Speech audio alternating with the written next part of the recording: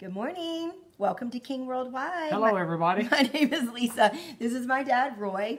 We already have the victory, regardless of circumstances, regardless of the country, regardless of the world. We already have the victory in Jesus Christ. Hello. And so, we're going to go over another outline that Roy developed with the Holy Spirit so that we can continue to enforce victory. And sometimes it feels like a fight. Whatever you want to call it, fight the good fight of faith, stand, enforce victory, do what the Holy Spirit says. Yeah, we have we already have it, and we're we're going to explain what we have. But uh, let's be real in that we have challenges and storms at life that that can be nerve wracking and even at times what I call showstoppers. But our message today is just that we we already have the solution. Oftentimes we are ignorant of what God has already provided for us. So we're going to look at uh, one, two, three, four. We're going to look at four scriptures that tell us as to what solutions we already have. All right. Go, Lisa. The first three are from the Passion Translation, and then the fourth one is going to be from NLT. So let's start with Philippians 2 9 and 10 from the Passion. Okay, because of that obedience, God exalted him and multiplied his greatness. He has now been given the greatest of all names. The authority of the name of Jesus causes every knee to bow in reverence. Everything and everyone will one day submit to this name in the heavenly realm, in the earthly realm, and in the demonic realm. The, the greatest of all names, and that's where the Mm-hmm. power is. Number two. You did that for me to get more time. 1 John 4 No, I didn't. Oh. Greater, It okay, was- it was- I almost said out it. Yeah. Greater is he who's in me. But anyway, we're going to read from the Passion. Little children. So remember, we get as little children. You can be certain that you belong to God and have conquered them. For the one who is living in you is far greater than the one who is in the world. far greater, and that is the Spirit of Jesus, the Spirit of God, mm-hmm. far greater than anything in the world. So the name and the Spirit is living within us, which is far greater than any challenge, storm, junk that we encounter. Number three. Okay, Romans 8:37. Yet even in the midst of all these things that you just mentioned, we triumph over them all, for God has made us to be more than conquerors and has demonstrated and has demonstrated his love that his love is glorious our glorious victory over everything. More than conquerors. Glory to God. And then So lastly, na- name and the Spirit of Jesus resides in us once we were born again. Holy Spirit, And then number three, more than conquerors. more than conquerors. And then number 4, Hosea- Number four. Hosea 4 6 from the NLT. My people are being destroyed because they don't know me. Since you priests refuse to know me, God says, I refuse to recognize you as holy priests. Since you have forgotten the laws of your God, I will forget to bless your children. Okay, know, knowing Him, knowledge of God, which is very simply the Bible. Yep. So, in in the Bible, it, what it is is that it's what's God saying. Well, what's God saying to them back then? He's saying to us, and God's word is God speaking Yes. to you and us. He's His word is speaking to you uh, and, and us. And in 2 Peter it says that no prophecy of the scripture is of any private interpretation.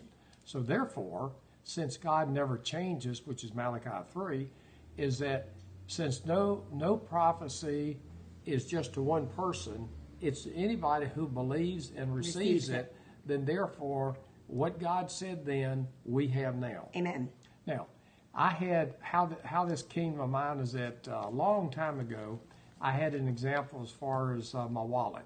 Is that I for a long time is that uh, I've had a dollar bill. As a matter of fact, uh, when I when I finally got to this point, it was a hundred dollar bill that I put in my wallet, and so I was looking for something and uh, and couldn't find the. Uh, as a matter of fact, I needed the dollar bill, the reserve, the emergency reserve, and. Um, the and I, I didn't find it. And, and so later on, what I did is that I dumped everything out of my wallet, and all of a sudden, bloop, bloop, bloop, it just kind of falls out. Now, Where was here- it? here's the significance of that. I was ignorant of where it was. Where you put it or where it uh, was. where it was, or really what I had, and that. Ooh, that's and- so and- good. And that's oftentimes the same thing that we have as far as God's word. We may know the truth. It's really good. We we may know the truth, but unless we act on it when we're prompted to do it, unless we act on it, we will be dominated by the devil and his and his uh, uh, unclean spirits. And that was the thing that I had So to learn true. is that as I was learning the word, I thought that was cool, but I just didn't act on it as strongly and frequently as I should have. Uh, matter of fact, I didn't inquire, to be very honest. ding, ding, ding, ding. And, and so as a result, it's it's knowing the word. That's why Hosea 4 6 is so good for me, is that my people are destroyed for lack of knowledge. That's the King James Version. And and so once I learned it, and then once I started acting on it, guess what? I started getting results. And and that was the bottom line for me anywhere coming anyway coming from my background. And quite honestly, when we don't act, we are being disobedient to God's word. If we don't act when we inquired and he, He's directed us as far as what to do, let's say cast out demonic spirits. If we don't act, we're being disobedient to God's Yeah, word. we could be saying like, "Oh, I don't want to. What are they going to say?" or whatever. Something the Lord taught me in 2012 was that He would rather me step out in faith and miss it and let Him fix it than me not being obedient. So when good. when I hear His voice, I act, and I heard that in the very beginning. And if I'm I'm not, I don't care. He can fix it. But most people sit back and wait, wait, wait. You're never going to get a green light. You're never going to get a natural sign. You we have to obey God, and that He taught me just act. And if you miss it, and not one time when I heard his voice clearly and acted, he's ever had to say that was wrong. It's it. Satan bombards, the mind bombards, the flesh bombards with saying you're stupid. That's not going to help. Well, you just learn his voice, block contamination, and it, it works out. Here, here's something that just happened about a week ago, and I didn't think of until right now. And, and that is, is that I was over at the clubhouse beside our home, and uh, and and I was praying. I was doing doing some prayers for some special people, and uh, Thank you. I appreciate that. that's right. You're one of them. And and so as as a result, the the Holy Spirit told me, said, I want you tonight, uh, because Sally and I, before, before we go to bed, we always listen to either uh, a message or a video on YouTube or a DVD that we have. We do it every night before Of we go to preaching bed. of the gospel. No question. And so he said when I was walking over, he said, I want you to uh, uh, to listen to one of Jesse Duplantis, uh, his DVDs tonight. And I did. Walked in the house. Now Sally Sally was watching, she was watching a video and it happened to be of Jesse. As I walked in there, I didn't know any of this. And just as I walked in, I mean, it was if the cue was given just like that. Jesse was prophesied, prophesying over us, Oh, Roy and so Sa- cool. Sally King, in a meeting that we went to a couple years ago. That is so cool. and you talking about a confirmation? I said, I got this one. That's really and so good. we listened. We listened to another DVD of, of his that night. Glory to God. So he, here's why that if we don't act, here's why we're disobedient to God. There are three verses that Lisa's going to go over. These are so good. And here is the first one. Again, from the Passion Translation, Psalm 8 6. You're kind of hot to trot on this passion today, aren't you? The Lord said passion, and then Hosea wasn't in I'm glad you're listening. Praise God, me too. You have delegated to them mastery. So God has delegated to his people mastery over all you have made, making everything subservient to their authority, placing earth itself under the feet of your image bearers. All right, so the another translation of that is that we have dominion. Exactly what it's saying. We have dominion, and that's where that ties into the title. We already have it. Number two. Hebrews 2 8. For you have placed everything under his authority, mankind. I'm looking if there's anything here. Any. Okay, this means that God has left nothing outside the control of his son, Jesus, even if presently we have yet to see the body of Christ accomplishing this. So his intention is that mankind rules the planet. His intent, God's Yep. intention, is that we are to rule the planet. Mm-hmm. So if there's junk that's taking place, not in necessarily your life, but throughout society, your city, your town, your state, your it's country. be- it's because is that it's a result of people that are not following God's word. Period. Number three. um, Psalm 115, 16. The heavens belong to our God, they are His alone, and He has given us the earth and put us in charge. I mean, it's so clear. Put us in charge. We have ownership of the earth. Not doing it ourselves. No. we have ownership. We have the authority and power. And when we inquire and we're directed to, to take action, for example, like cast out uh, demonic spirits or whatever, Pray for the state that used to be uh, wrong. Yeah, and so a, as a result, we do that. And the reason why that it works is because we've been given the authority, power, and ownership of this entire earth. So, Yes.